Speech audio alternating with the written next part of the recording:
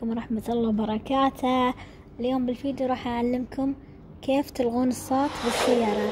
اللي ما يحب مثلا اللي ما يحب الموسيقى بالسيارة إذا ركبت السيارة تطلع كيف تغيرونها؟ تدخلون على الإعدادات هذه وتروحون عند المركبة. في من هني مركبة الموسيقى تعطيل أو تفعيل. أنا حطيت تعطيل.